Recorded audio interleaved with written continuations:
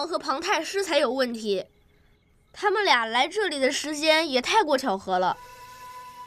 而且这二人怎会结伴同行？他们有全职开封府事作保，想必没打算瞒着。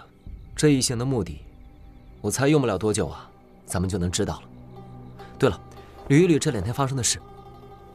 我注意到一个问题，正想听听你们的意思。嗯，你们有没有觉得，包公子，包公子，魏先生请你去他房中一叙。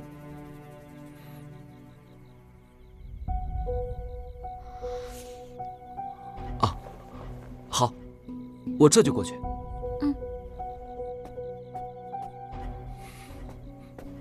哎哎哎！包大哥，你快说呀！话说一半，真真叫人心急。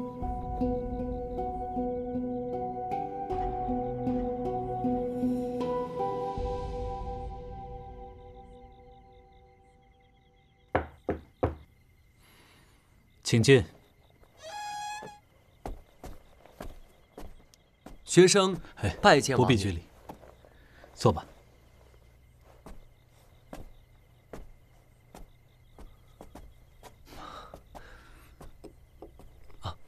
多谢王爷。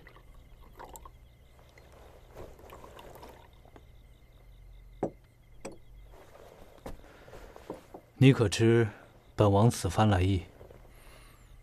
王爷有全知开封府事文书在手，想必是有备而来。亲两日的命案事发突然，王爷难以未卜先知。莫非？您来破灵阵，是与猫灵有关。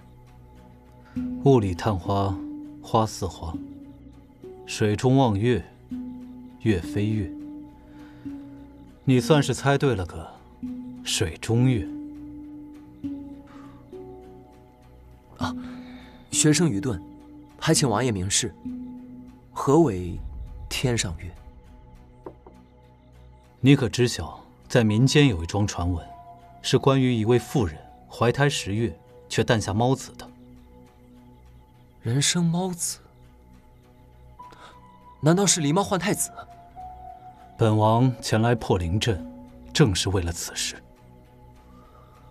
难道多年前，宫中李宸妃诞下狸猫之说是真的？传闻也不全是空穴来风。当年李宸妃的产房里。的确抱出了一只无匹的猫，先皇视为不祥，遂下令除去孽畜，对外宣称皇子夭折。事情如此蹊跷，先皇就没有怀疑过是有人设计吗？当然怀疑，只是当时先皇亲眼目睹了狸猫身上还带着脐带，以及刚刚脱落的紫河车，一时惊怒，失了平常心。待过几日，心生疑窦，再派人去查，却已查不到任何疑点。难道王爷知晓内情？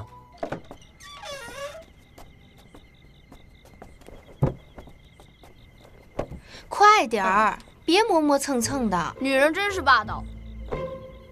阿润姐姐，我可不是说你。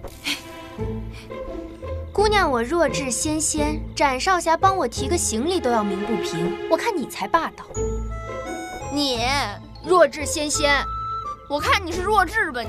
小清官，你什么意思？你别过来，我可不和女人动手。你找打是不是？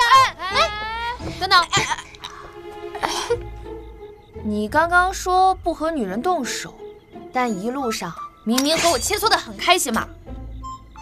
呃，嗯。切磋和扯头发是不一样的，你们收拾，我去找我包大哥。你包大哥正在和八贤王谈事呢，哪有功夫理你？呃，那我睡觉去，再待下去我就等着给弱智女子端洗脚水了。好你个小青瓜，溜得倒快啊！走吧。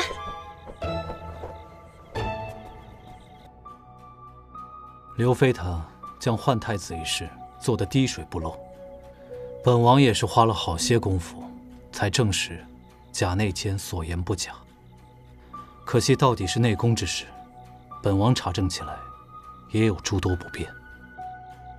既然皇上是先皇的亲子，如今也已经顺利登基，那和破灵阵有什么关系呢？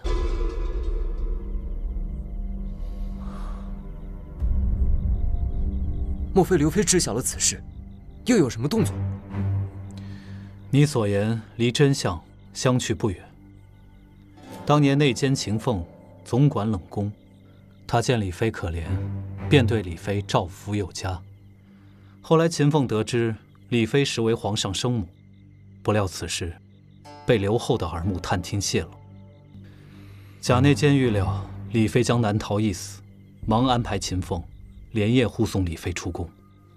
刘后一怒之下，便对李妃赶尽杀绝。刘后派人追杀李妃至空寂岭后，寻不见其人，未觉后患。竟屠了空寂岭全族，上到耄耋老人，下至黄口小儿，尽葬送于这场无妄之灾。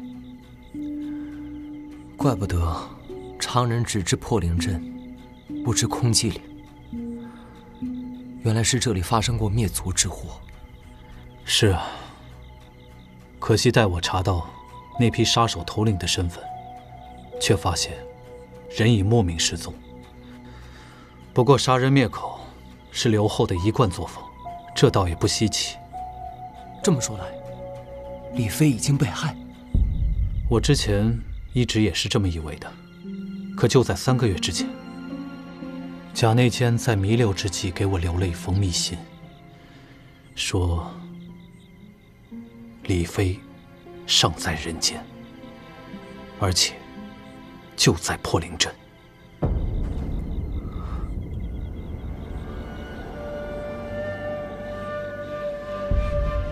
如今政权重归皇上，是时候拨乱反正了。那庞太师，庞太师与刘太后是一丘之貉，当年便是庞太师插手，才致使空寂岭一案被压下。贾内监的密信。辗转两月余才至我手中，想必是因已经走漏了风声，所以庞太师才会暗中跟随我至此。倘若李妃落入庞太师之手，后果将不堪设想。当务之急便是尽快找到李妃，护其回宫。皇上。是否知道李妃还活着的消息？这，这我也不太确定。你们在破灵镇，可曾查到什么线索？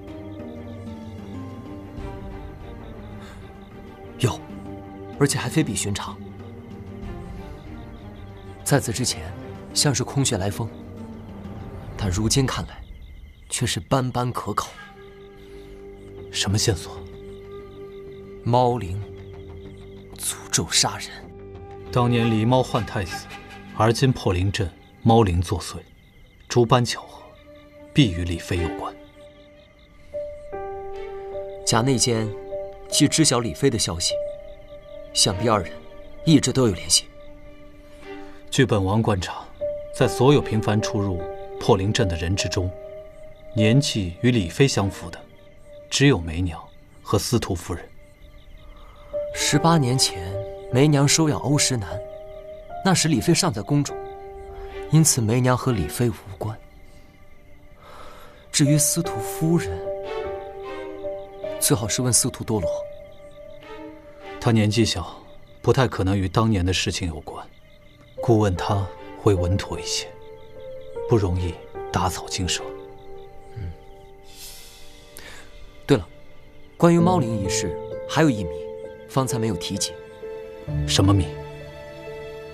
这便是那妖灵中的牙齿。我们探查万灵秘阁之后，曾捡到一只铃铛，打开发现一颗年轻女子的牙齿。依稀记得，李妃年轻时曾被人算计，不慎从假山上摔落，磕掉了一颗牙齿。李妃为此黯然神伤。先皇为了安慰她，便打造了一只铃铛，装了牙齿，挂在屋檐上，寓意灵动驱邪镇恶，日后再无人可伤及她。哦，王爷，铃铛正在我这，不知王爷能否辨认出此物？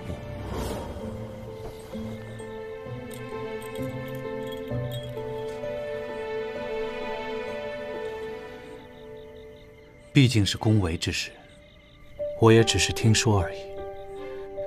不过这只铃铛，颇像是玉造之物。天底下怎有如此巧合的事情？那万灵秘阁果然非比寻常。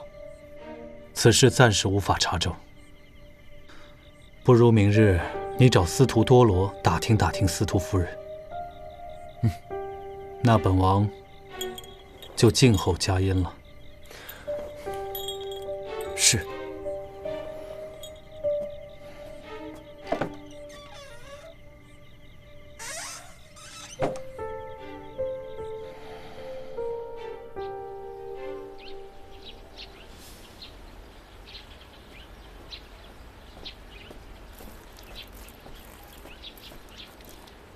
子，多罗姑娘，包公子是来找我的吗？呃，我只是碰巧路过。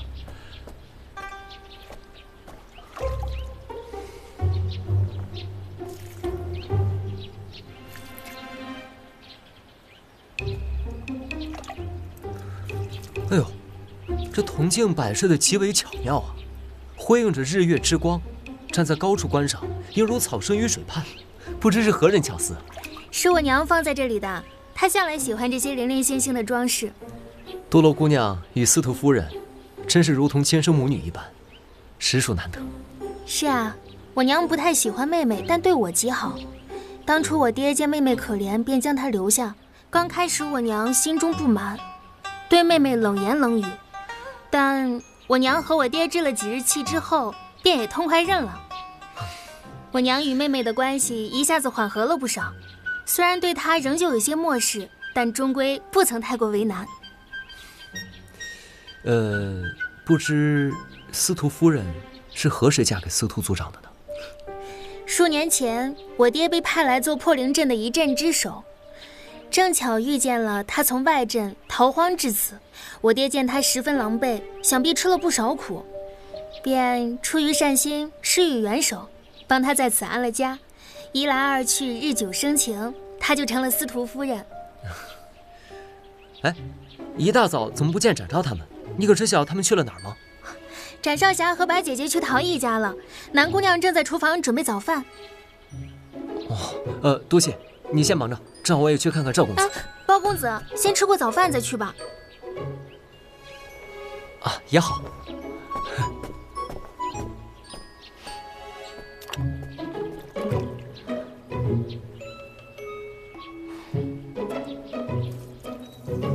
前面应该就是陶艺家了。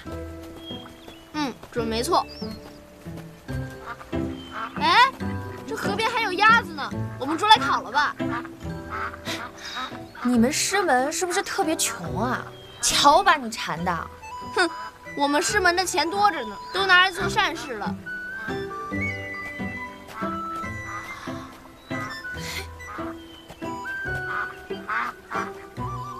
这赵元林真是说走就走，一声不吭。咱走的方向应该没错呀。哎，是不是那儿？哎，好像是。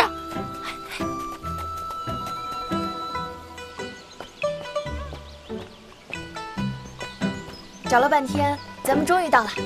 可不是嘛。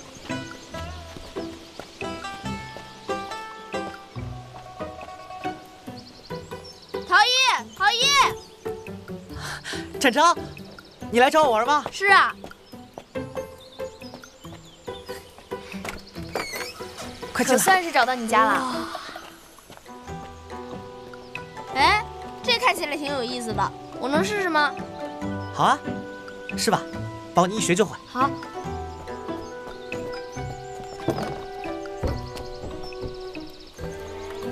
放心上手这样。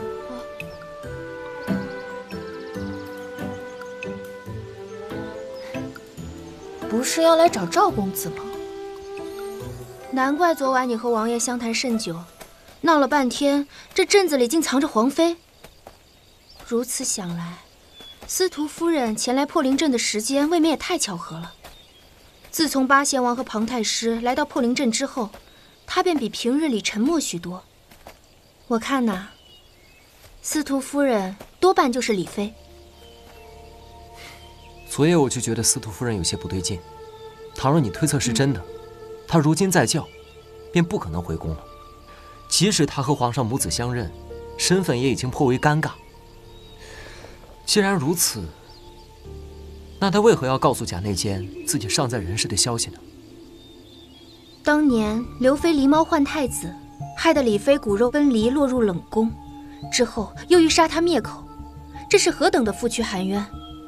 如今皇上已经亲政，刘太后知晓皇上的真正身份，岂能不处处提防？或许，李妃正是因为担忧儿子处境，所以打算亲自翻案，一举除掉刘太后。或许吧。哎呀，展昭，你弄我衣服上了！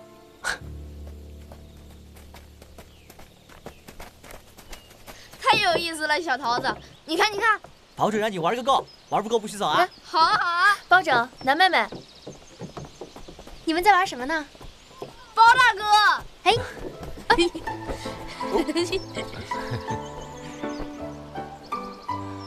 我说小青瓜，你见到阿整这双眼放光的样子，活像司徒多罗呀！我武艺超群，斩少侠，怎么能像个女子？女子怎么了？展小昭，你要是这样说话的话，可是会娶不到媳妇儿的。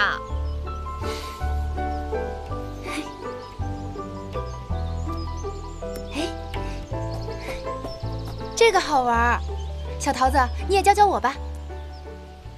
教你可以，不过以后不准喊我小桃子。那要不喊你小罐子？你这个女人真是不讲究，我可是男人。哦，行行行，你是男人。不与女子一般见识。走，我屋里有好多小玩意儿，带你们看看。燕兄和赵兄不在吗？哦，他们去镇外买好吃的了，一会儿就回来。走，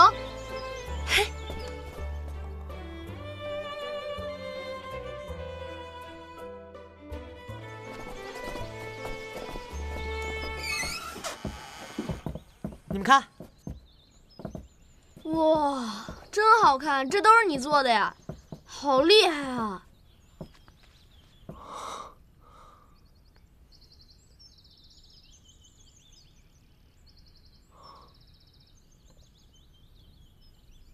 哇，小桃子好手艺啊！哪里哪里，当初教手艺的师傅说我太好动，心静不下来，将来做不出顶好的东西。反正我也没啥大志向，做些寻常使的，差不多就行了。这么多陶具，想运出去不方便吧？你是如何卖给他人？有些是卖给镇上，还有一些是店家定期来取货。挺好，挺好。大老远就听见你们说笑声，原来是你们过来了啊。燕兄，嗨，我们与赵兄也算是有比邻之意。呃，赵兄忽然搬走过来看看，也是理所当然的嘛。赵大哥，你怎么突然连招呼都不打就搬走了呀？就是，哦，反正我独身一人，住哪儿都一样，就不起那无谓的争执了。哟，好歹你也是京城第二富贵花，到底是个金贵人呢，怎么忽然这么不讲究了呀？啊，出门在外，不比家里吗？赵大哥也给了司徒家不少钱吧？不如咱们等会儿一起回去吃饭，不能白白便宜他们。不必不必，反正我也不差那些钱。不知赵公子这样的人多不多？要不然我回头就去开个客栈，门口左边写上“差钱的不要进”，右边就写“进来的不差钱 ”。那你横批不如就叫“愿者上钩”吧。我看应该叫不黑不收钱。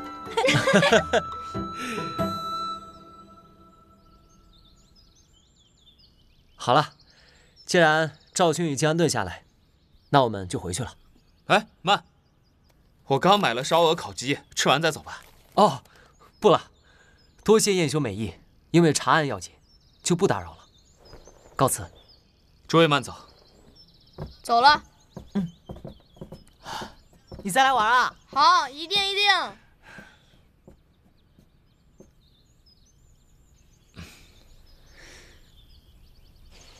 一夜不见，赵元林怎么跟蔫了的倭瓜似的？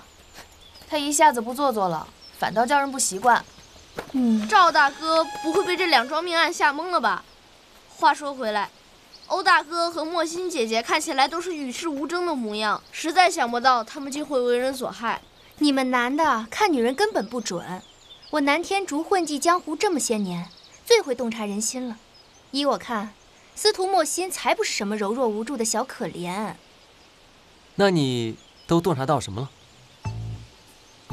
唉，嗯，从我的观察来看，司徒莫心只不过把姿态摆得很低，叫人觉得柔弱可欺而已。我们刚来到破灵镇的时候，族长不愿意留宿，司徒莫心还帮忙求过情。他要真那么顺从，怎么敢为了几个素不相识的人违背养父意愿？帮我们求情还成了罪过，人家可能只是心善嘛。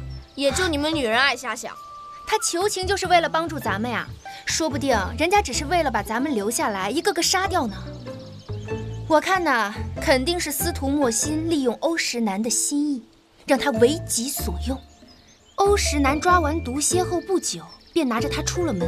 那只毒蝎子八成就是欧石南抓给司徒莫心的，还有，指不定那条万灵密阁里的蛇也和他有关。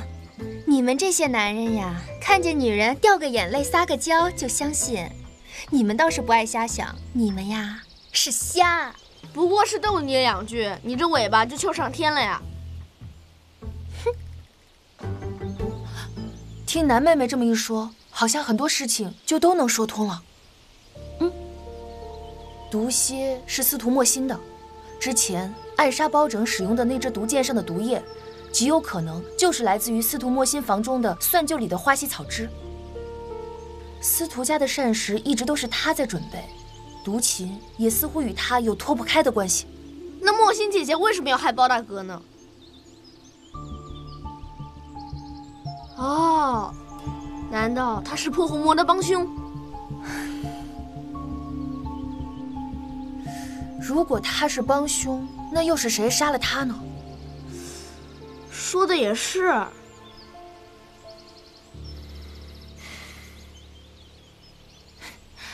看你一脸众人皆醉我独醒的样子，想什么呢？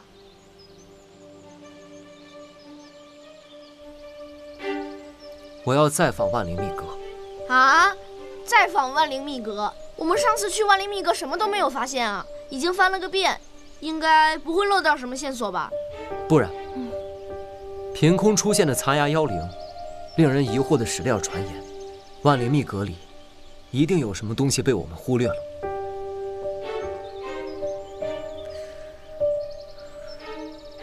没准正像司徒多罗所言，万灵密阁是因有什么说不清的东西，才会变得如此诡异。难道是里里里面藏着茂灵？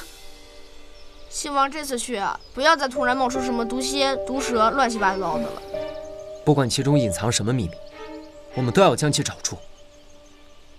我有预感，这将是破案的关键。那我们现在就去吗？此时不去，更待何时？走。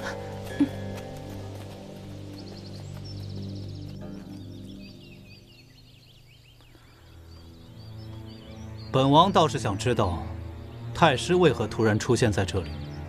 你我在京城见面不点头，自打出了京城，太师是如影随形啊，这让人不免心里犯嘀咕。王爷素有贤名，老夫向来钦佩。今日难得远离朝堂，不为琐事所累，自然要好生跟着学学。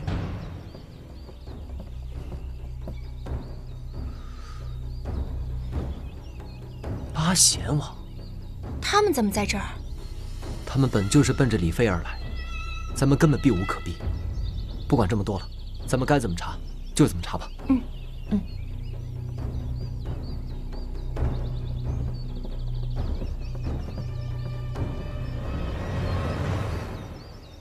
见过王爷，太师。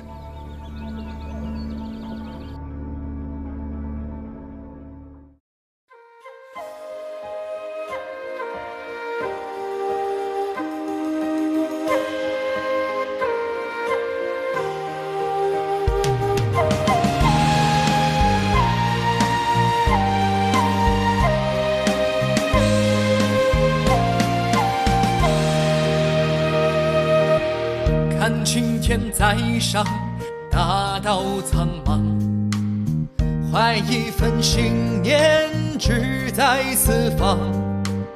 说少年轻狂，却偏爱去闯，一路妖魔，又能怎样？揭开迷离的真相。